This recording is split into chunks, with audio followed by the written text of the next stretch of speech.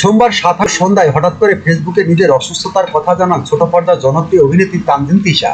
এ সময় সামাজিক যোগাযোগ মাধ্যমে হাসপাতালের বেডে শুয়ে থাকা একটি ছবি প্রকাশ করেন তিনি। তিশার সেই ছবি প্রকাশের পরে ভক্তদের মধ্যে উদ্বেগের সৃষ্টি হয়। সকলেই প্রশ্ন করেন, কি হয়েছে অভিনেত্রী? তিনি বর্তমানে সুস্থ আছেন কিনা? বিষয়টি নিয়ে একটি সংবাদ মাধ্যমে তিশা জানান, গত কয়েকদিন ধরে অসুস্থতা বোধ করছিলাম। এরপর জ্বর ওঠে একশো তিন ডিগ্রি। অবস্থা আরও খারাপ হওয়ায় হাসপাতালে ভর্তি হই। এই অভিনেত্রী বলেন, হাসপাতালে ভর্তি হওয়ার পরে অবস্থার আরও খারাপ হতে থাকে। চিকিৎসক এটা দেখার পর একটা ওষুধ দেন। সঙ্গে বলে দেন, এটা নেওয়ার পর একটু কষ্ট হবে।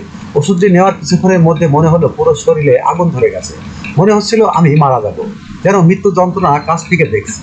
ওই সময় আমার মাকে জড়িয়ে ধরেছিলাম। প্রায় তিন ঘণ্টার পর কিছুটা সুস্থ বোধ করি। কেন এমন হলো জানতে চাইলে তিশা বলেন, চিকুনগুনিয়া ডেঙ্গু সহ আরও কিছু পরীক্ষা করিয়েছি। এসব হয়নি। আমি কিছুদিন ধরে ডায়েট করছিলাম। তাছাড়া কিছুদিন ধরে দুশ্চিন্তাও করছিলাম। চিকিৎসকের ধারণা এই সব মিলিয়ে এমনটি হয়েছে, আপাতত আমাকে ডায়েট বন্ধ করতে বলেছে। প্রচুর খাওয়ার খাওয়ার পরামর্শ দিয়েছেন। চিকিৎসকদের পরামর্শ অনুযায়ী বর্তমানে বাসায় বিশ্রামে আছি।